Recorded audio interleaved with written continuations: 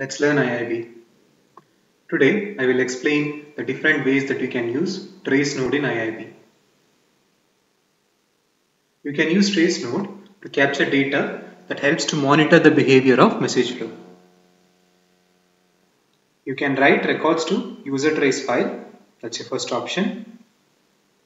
Option 2, you can write to any file on the file system that is owned by the user. Option 3, you can write to local error log. This is a location where all error and information messages of the operating system are to. It is known as syslog in Unix and you can access this in Windows using Event Viewer tool. You cannot write to console logs of an execution group using trace node. To write to sysout or sys stdout or stderror files which are known as console logs, you have to use Java component. If you use ESQL to Java, if you connect ESQL to Java using, using an external procedure, then you can write from ESQL and Java to console logs.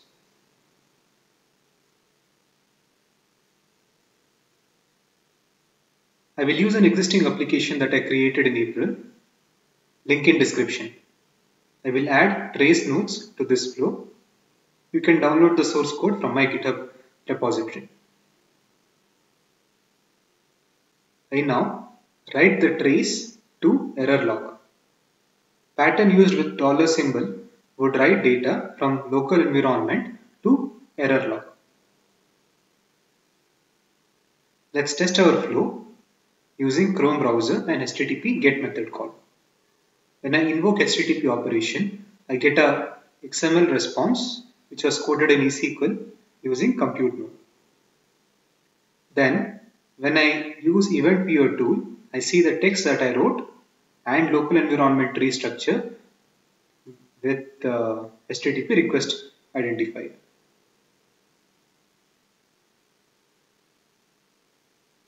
Next, I write records to user trace logs.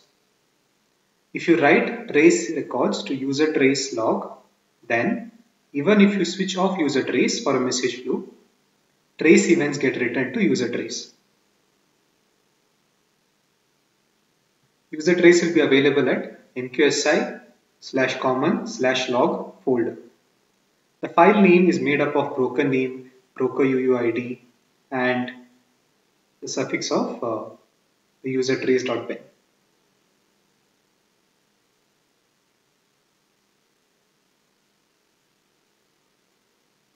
View the information returned to user trace using commands mqsi read log and mqsi format log. Don't try to read the binary file present in mqsi common log folder.